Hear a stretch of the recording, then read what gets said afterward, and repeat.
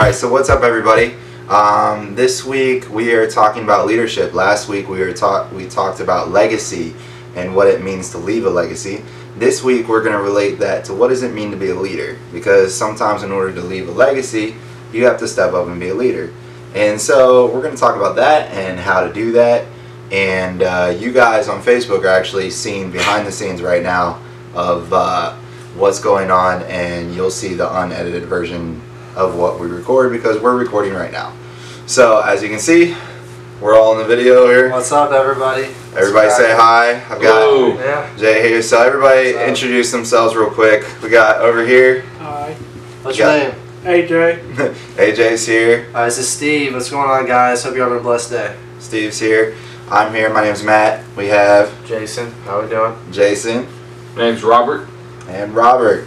Um, this week, uh, so we're talking about what does it mean to be a leadership, guys. We talked about legacy last week. All right, what does it mean to leave a legacy? What do you guys think? What What is the definition of a leader?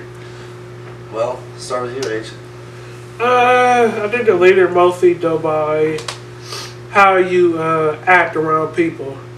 Like, um, I, my eyes, I want to see a leader always stepping out to help somebody, uh, always reading the Bible, pretty much always doing the, the days of life. Okay, yeah. So stepping up to help people, uh, reading the Bible, maybe uh, do something in the community. I don't know. What do you guys think? Uh, as far as being a leader, Yeah. I'd say it's easier said than done. Like, a leader is someone who we, we can identify a leader usually without even having to them themselves say they're a leader. It's like um, anyone can be a leader, but not everyone's a strong leader. So I would say that like um, Right. anyone, someone at least if one person looks up to someone else, that person's a leader at least to one person. But as far as See- an influential leader, that's something different. I think there's a couple things I think of when I think of leadership. Uh, first and foremost is somebody that stands out from the crowd, that does different from the crowd. But not only that, I think it's somebody that does what's right when no one else around them is watching. Um, I think that shows a lot of leadership. Um, so, in other words, I think leadership kind of correlates with discipline. Um, I think you have to be disciplined as a person, and and you have to know what you want out of your life, and not let anything else around you affect you from achieving your goals in life. And uh, just like I said, doing what's right when nobody's watching. That those and being different from the crowd. That's really important to me. So. What about you, Robert? Uh, I think first, uh, before you become a leader, you have to be a follower. Um, uh, not just, I mean, we can go through the Christian tangent, but i I mean, if you want to be a leader, you have to, it's the long road of obedience um, and doing the right things uh, in secret before you can do them in public.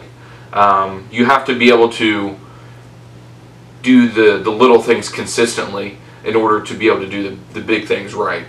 So, um, just like Steve said, you have to be disciplined. Absolutely, you do. You have to be able to be counted on. You have to be able to um, to be to have to, to have wisdom in order to be a leader. Let me just reflect really quick here. I think just one. If there was one word that I could just think about with leadership, it's accountability. So, I realize that I'm accountable for my own life, and basically, I'm not letting anyone else around me make my decisions or make decisions for me. I'm not letting anyone else around me affect my decisions. I let myself affect my decisions because I am accountable for my life. That's extremely important um, with anything. And I think once I accept my accountability for my life, I then am the one that will either make or break whether I am successful or whether I make a difference on this earth. Not anybody else around me, but I myself. And that's when I think I'll have a greater desire to start making changes, to start being different than everybody else, because I realize that my life is my own and it's precious to me. So um, that- that's something really uh, significant to think about. Yeah, and you know, I agree. I agree with that. I also agree with uh, what Robert said too.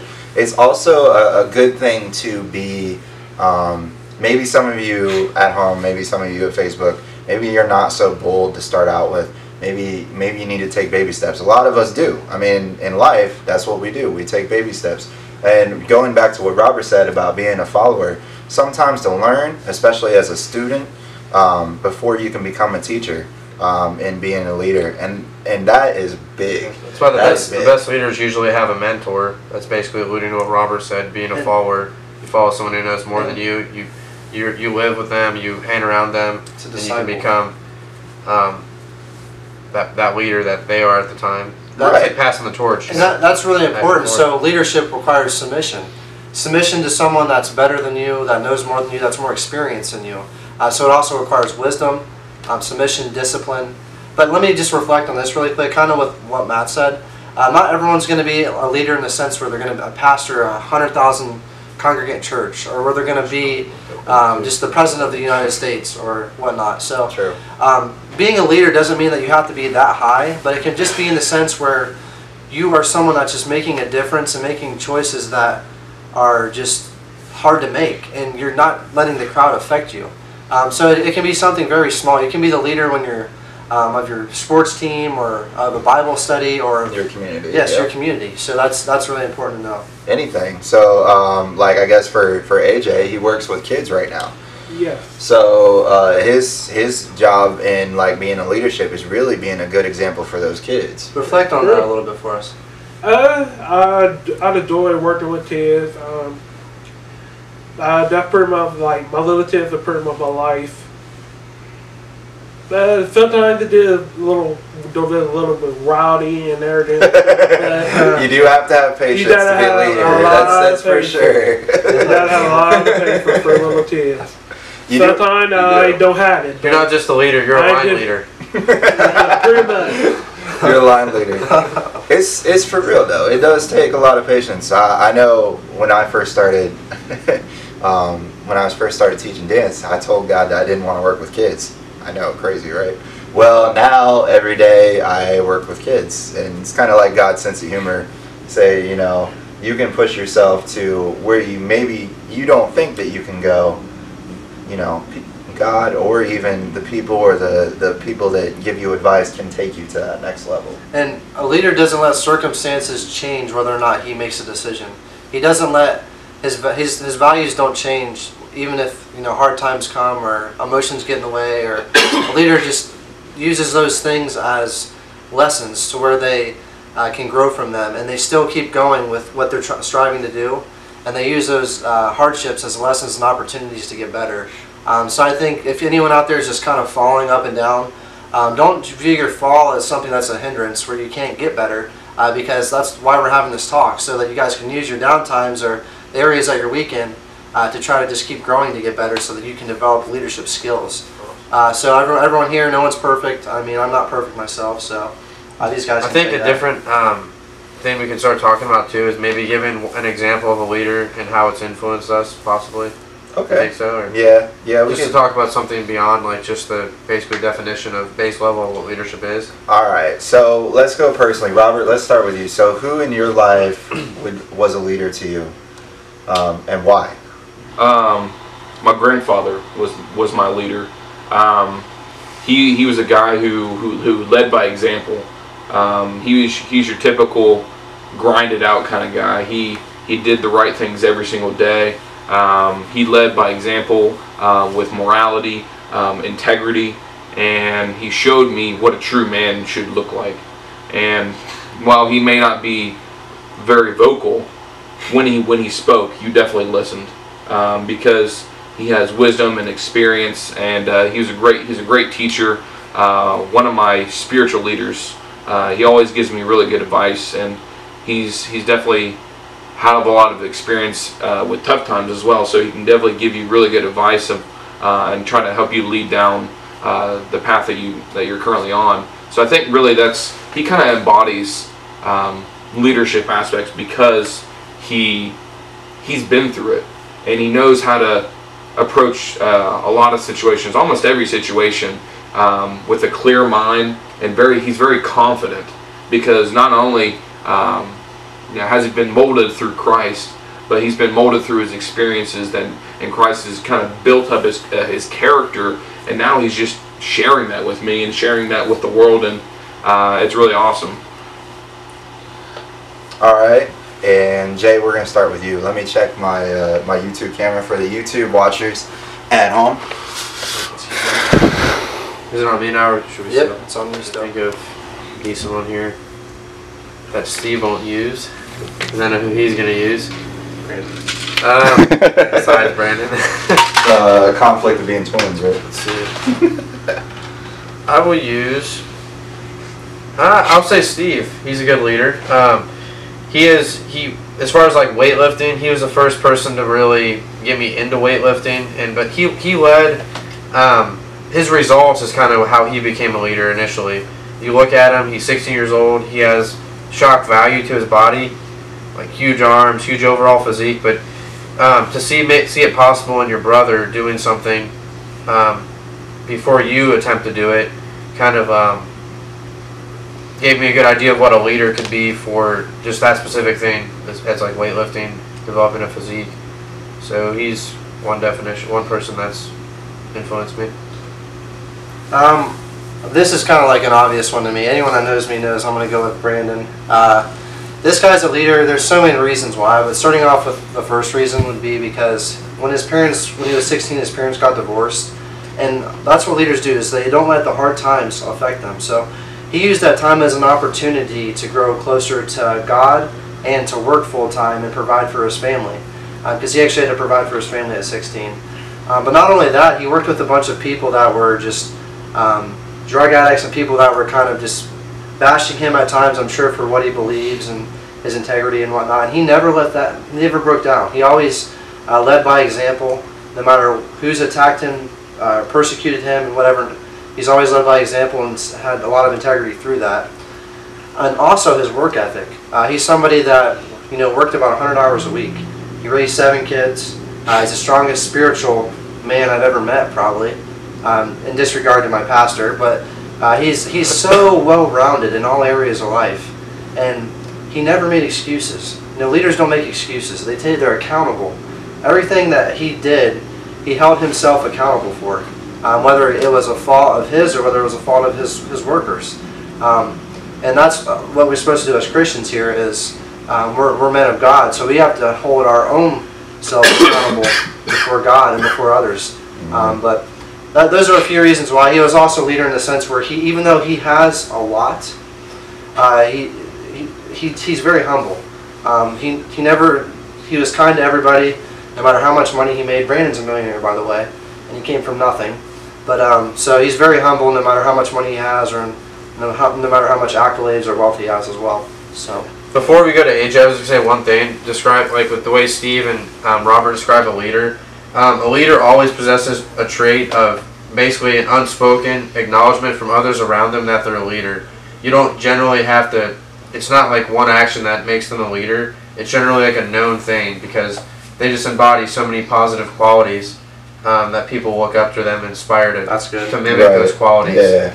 It's always it can be unspoken. I think a lot of the majority of the time. Yeah, majority of the time you don't have to say it. Yeah, They don't. know. There's no saying, "Oh, well, this guy's a leader." No, it's more. Majority of the time, you just know. Yeah. What about you, AJ? Um, for me, later, um, I got, I, me, I think that like you have so many good leaders in your life.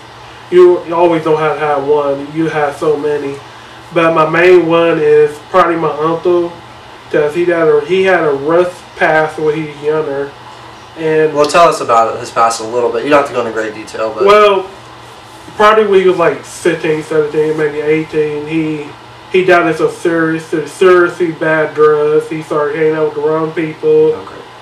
Uh, yeah, he started doing crack, cocaine, and all this other stuff. Yeah. And he got beat at the lot by other people. He was in on the streets and stuff like that. So what happened?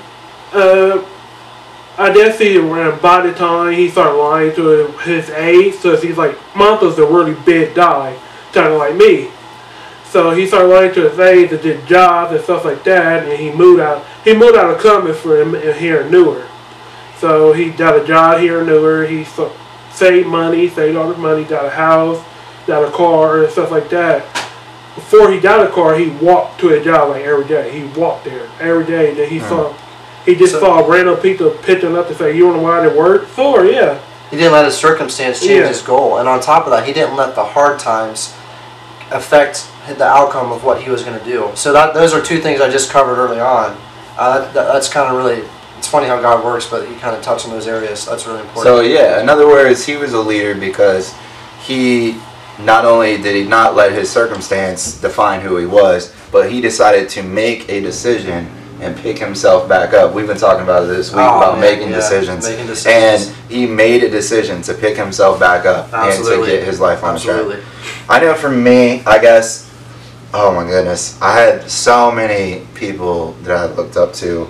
Um, my mom and dad being the biggest leaders I know, um, because they were they're youth pastors, and the coolest. You know, it takes a lot of patience and a lot of leadership to be a youth pastor, and uh, I looked up to them so much. And also, I had another pastor friend in Athens. His name was Leon. Um, he he taught me so much about about life and making decisions and and doing the right thing and and all these people around us all these people that are, are leaders in our lives um, like we say you don't have to say it they you just know because they they choose even if they do stumble even if they do fall um, we were talking about being accountable they choose to not only be accountable but to get back up and not let that weigh them down not let other opinions weigh them down either Yeah. And I, I think um, You've This never is- usually seen a depressed leader that stays depressed, or they're not a leader. Yeah. they have a relentless Yeah, spirit, I you know, that drives them forward at some point. Um, and for anyone out there, because I know not everyone here is leaders, um, don't try to become a leader overnight. Just make small steps. Think about what are your passions? What are you good at? What do you want to do? Where do you want to be at? And then after that, start making small goals that direct you in those areas. And then over time, once you develop, because a leader has to be good at something, right? Once you once you develop like a skill in those areas, you'll be able to um, help others. And you don't like have to be automatically talented. You know that's very important. So You don't have to be automatically talented. You can learn something. Um, I know for me, I like to learn stuff I've never done before. Um, I don't know about these guys, but I, I do. I like to learn stuff, even if I'm even if I'm not good at it. I like to learn stuff I've never done. So let's let's do this real quick before we leave, because um, we have to we have to get on, and then next week we're going to talk about a couple other things. But before we leave, let's tell everybody on YouTube and on Facebook um, what are some things we can do to take a step toward being a leader. Um, I mean, I think first and foremost it involves self-analysis. So I think you need to sit down when you're when you're watching TV, spend a few minutes in commercial, and uh, think about where you want to be at. Self-analysis, good. Um, Jay, what's another step? Um, I think fundamental is sacrifice because you're gonna have to sacrifice your time in something that might, like watching TV, for example. If you take that 30 minutes or so and use it productively to read the Bible, do something productive, you can it take that's taking you a step towards leadership. I would say. Good. Robert, you? Um, I would have to say discipline. Um, you know, doing doing the right things over and over again. It's that long road of obedience that, that leads you to being able to be fruitful and and uh, be able to be to looked at as a leader. Um, just like Jay said, a lot of most leaders are you have that unspoken trait. You don't have to question if they're a leader or not because you know they're very disciplined in what they do. Awesome. AJ, what what's a step that you think that we could take to being a I leader? pretty much the went over everything, but yeah, the being a leader is hard work. I mean, it takes Dedication. time. That is There hard it work. is. Dedication. There it is. Patience. You know, You a lot of patience. You and can't not give up. you ain't gonna do it over. You ain't gonna do it in one day. You don't take. Nope. I don't know, two, three years maybe. Dedication, hard work, patience. Love it. Yes, uh, just really quick here. Uh, this is supposed to be like a kind of a biblical podcast. I know not everyone here is uh, Christian, uh, but I really want to just encourage you guys all out there to um, get to know God. You know, that's this whole series. That's what it's about. So if you guys don't read your Bibles, and as Matt said, he likes to do things that he's not good at. If you don't read, you're obviously not. You don't know the Scripture.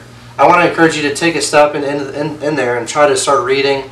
Um, try to start getting closer to God. Quit making excuses for why you're not where you want to be. Hold yourself accountable um, because there's not anybody else around you that's going to change you besides yourself.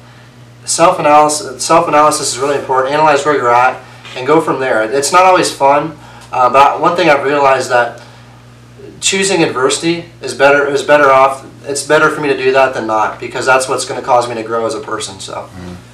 Yeah, I think I think for me, uh, just taking baby steps to to try to focus on what it takes for me to be a leader. Um, I know for me, not only in self analysis, but changing my way of thinking.